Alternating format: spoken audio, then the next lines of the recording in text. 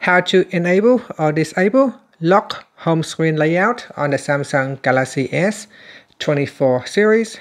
First tap on the home button to return back to the home screen. Then from the home screen, swipe down at the top to open up quick settings.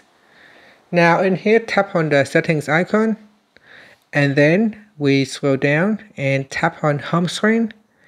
After that, we go down and then tap on lock home screen layout. Tap on the toggle button to switch it on or turn it off. When we turn on lock home screen layout, we prevent items on the home screen from being removed or repositioned.